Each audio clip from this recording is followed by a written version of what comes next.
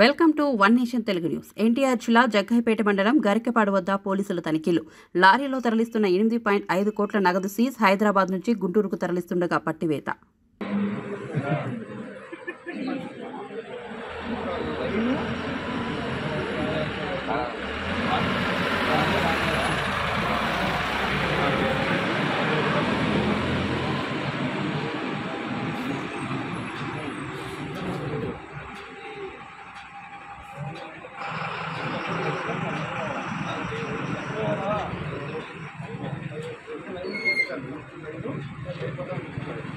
ఈ బాక్స్